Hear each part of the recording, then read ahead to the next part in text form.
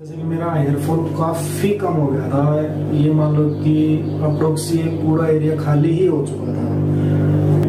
Transplant करते time आपको अच्छा ही फील होता है क्योंकि आप एक नई लाइफ की तरफ़ बढ़ रहे हो? क्योंकि आपको भी पता है कि बालों के बिना लाइफ क्या होती है और बालों के साथ क्या होती है।